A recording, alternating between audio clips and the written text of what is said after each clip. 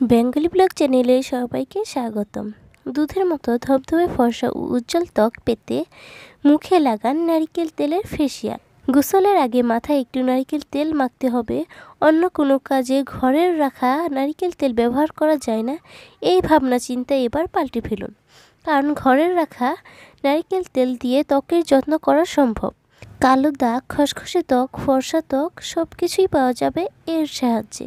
একটি শুকনো বাটিতে প্রথমে তিন চামচ নারিকেল তেল নিতে হবে। তারপর এক চামচ হলুদের গুঁড়া নিতে হবে। কাঁচা হলুদ বাজার থেকে কিনে এনে তারপর শুকিয়ে গুঁড়ো করেও নেওয়া যেতে পারে। আর তার সাথেই নিতে হবে অল্প পাতিলেবুর রস। সবকটি জিনিস খুব ভালো করে মিশিয়ে নিয়ে গোসলের আগে ভালো করে মাখতে হবে। সম্পূর্ণ শরীরে বা শুধু মুখেও এই তেলটি ব্যবহার করা যাবে। কোনো ব্রাশ বা তুলোর সাহায্যে ত্বকে লাগালে সব থেকে ভালো হবে।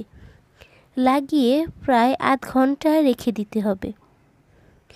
তারপর গোসল করে ভালো একটি ক্রিম লাগিয়ে নিলেই বোঝা যাবে। প্রথমে সাত দিন টানা এটি ব্যবহার করতে হবে, তারপর থেকে সপ্তাহে দুদিন ব্যবহার করলেও হবে।